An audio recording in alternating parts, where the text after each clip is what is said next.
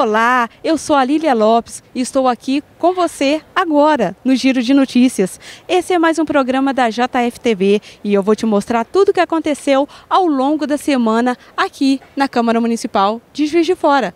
Fica comigo! A Câmara Sene se reuniu com a Secretaria Municipal de Saúde. Eles discutiram medidas para melhorar o atendimento das pessoas idosas de Juiz de Fora. O encontro aconteceu durante as celebrações do Dia Mundial de Conscientização sobre a Violência contra a Pessoa Idosa. Em junho, vai acontecer uma semana de conscientização sobre o problema. A Comissão de Defesa dos Direitos da Pessoa Idosa promoveu uma roda de conversa. Debateram qualidade de vida da pessoa idosa e também a formulação de políticas públicas para garantir o envelhecimento saudável. A Comissão de Defesa dos Direitos da Criança e do Adolescente da Câmara Municipal de Juiz de Fora promoveu uma roda de conversa. Discutiram incrementos de canais de denúncia.